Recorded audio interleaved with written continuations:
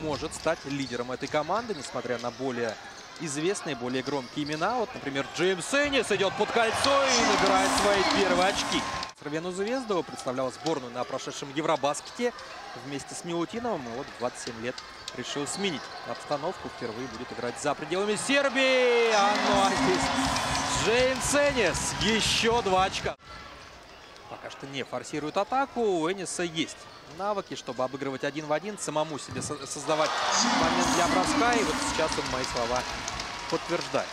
Набирает свою восьмую очку в этом матче, но и при этом ни разу он не промахнулся. Три из трех с игры, два из двух со штрафной линии еще умудряется защищаться на периметре. Энис абсолютно один на трехочковой дуге. Ну и форвард, который провел 8 сезонов Национальной баскетбольной ассоциации, постепенно поправил прицел по ходу прошлого чемпионата. Ну а в этом матче 3 из 7.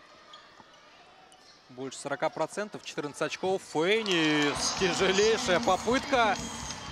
Но вот этому научили в Америке, что даже такие мячи.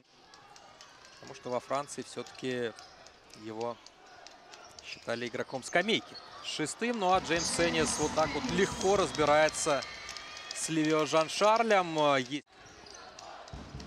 Возможно, стоит чуть чаще Энису брать инициативу на себя, потому что того же Маркуса Найта бросков больше, а тут Энис показывает, что и в защите у него все хорошо.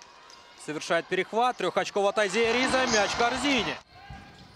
Приехал, в том числе доказывает, что даже молодые игроки могут получать игровое время в ЦСКА и быть эффективными.